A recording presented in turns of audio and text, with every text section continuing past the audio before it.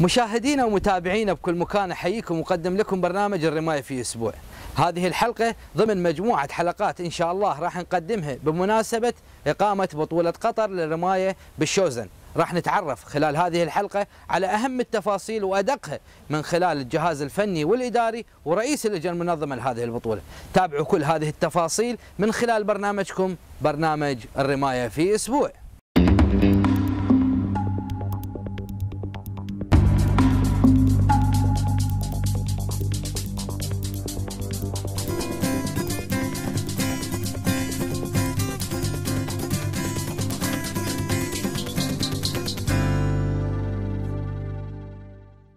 يعني الحمد لله. يعني آه، أنت تتكلم عن آه، 200 مشارك آه، في هالبطولة الجائزة الكبرى.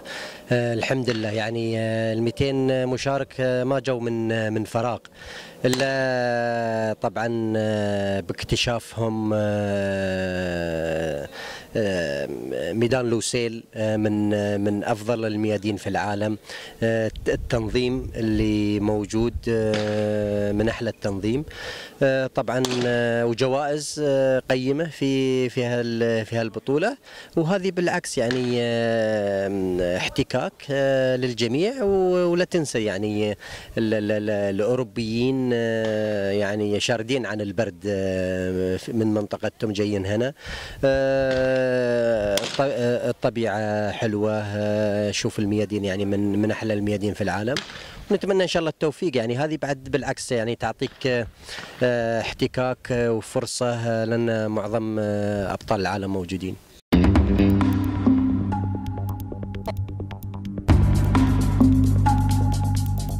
والله شوف مثل ما تشوف إحنا يعني قاعدين نتدرب وأول شيء مرحبا بكم في بطولة قطر. وبالفعل يعني الأعداد اللي تقول عليها كل ما لها تزداد هذا يدل على أن البطولة صارت محط أنظار الرماة في العالم وخصوصا النخبة من الرماة. فهذا شيء يشرفنا في قطر. واستعداداتنا مثل ما أنت شايف يعني إحنا على قدم وساق لأمرين. أول واحد وهو الأهم أن إحنا نحصل على المراكز الأولى سواء أنا أو غيري إخواني من الشباب أو إخواني الرماة. اللي الله يوفقهم. واللي يكون ذاك اليوم يوم البطولة يكون يومه يرمي بتجلي.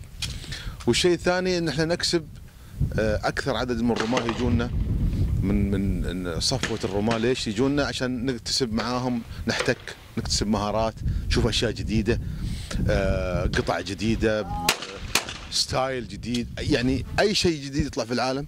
النخبة هذول دائما يجون يطبقون عليهم أو يستخدمونه على أساس إنهم يشو يروون العالم إن هذا شيء جديد لما يختلطون مع الرماه هذول خاصة الصفوة أو أو ال- ال- الرماه اللي تعودوا على الأرقام العالية فلما يختلط معاه ويشوف طريقة رميه، يشوف طريقة وقفته، شلون طريقة تسديده، شلون مسكه السلاح، شلون تعامله مع مع ال zero لما يجيه zero شلون يتعامل معه؟ هل يغضب؟ هل ينسى؟ هل عرفت؟ يعني كل الأشياء هذه تنفع الكبار قبل الصغار.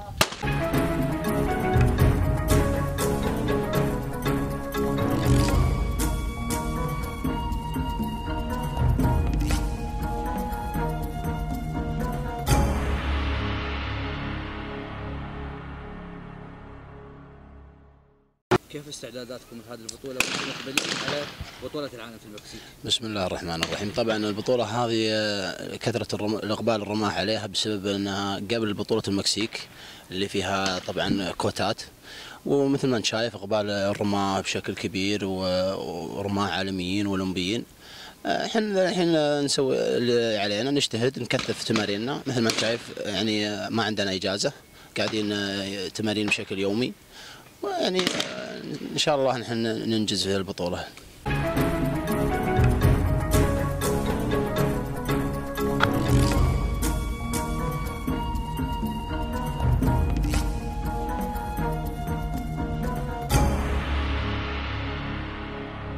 بسم الله الرحمن الرحيم. طبعا بطولة قطر المفتوحة للشوزن أصبحت من البطولات المهمة اللي الكثير من الرماة العالميين والأولمبيين يحرصون على أنهم يكونون مشاركين فيها.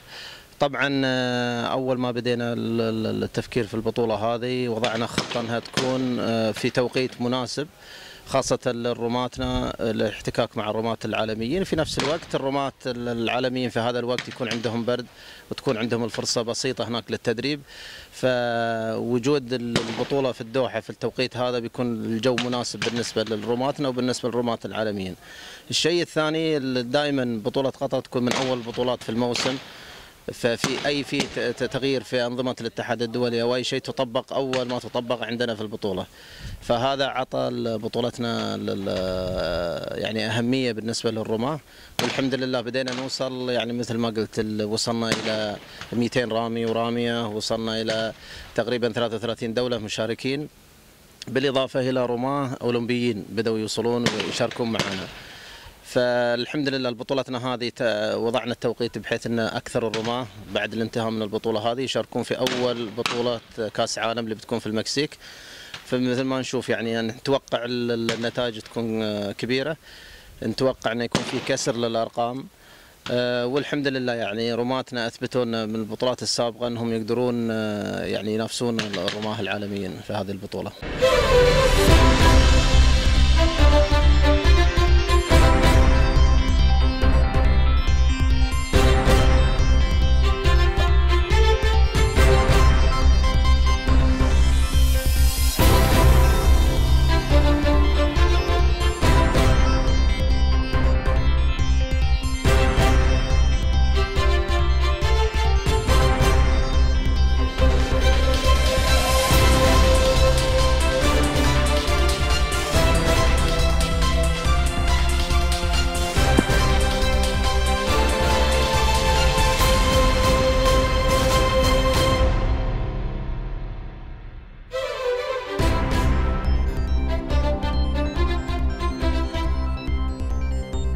تقدرون تتواصلون معنا من خلال مواقع التواصل الاجتماعي في الفيسبوك والتويتر والانستغرام. ولا تنسون ال subscribe وال like دائما خلينا في مقدمة القنوات. في أمان الله.